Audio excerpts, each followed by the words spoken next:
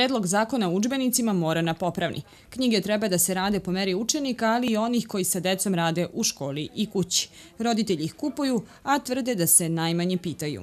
Roditelji uglavnom dočekaju gotove uplatnice i gotove informacije šta treba da se radi. Dakle, uopšte ne e, učestvuju u celom procesu izmena ili donošenja nečega, niti im je to konkretno objašnjeno šta će izmene konkretnih zakona ili drugih akata e, značiti. Praktično, udruženja roditelja jesu do sada prisustovala raspravama o novom zakonu o učbenicima, ali broj sastanaka dovoljan je da se dobije tek prelazna ocena. Za višu, neophodno je detaljnije objašnjenje šta on donosi.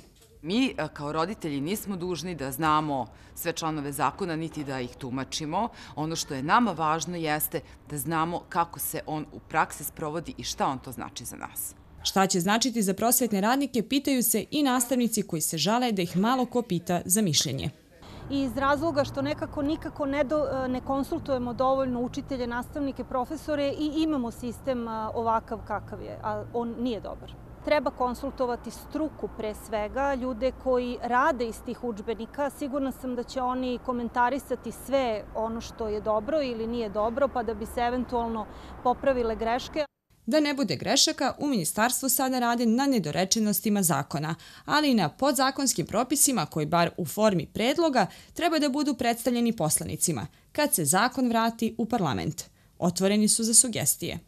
Da li su svi iskoristili priliku da kažu ne, sada mogu da pošalju na dnevnoj osnovi imamo i zaseban mail. U svakom slučaju postoje mogućnost da i amandmani na kraju u Skupštini postoje.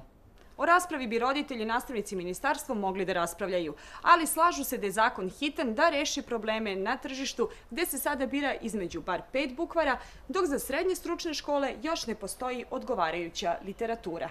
Od roka da se usvoji do 1. septembra, odnosno početka nove školske godine, još se ne odustaje.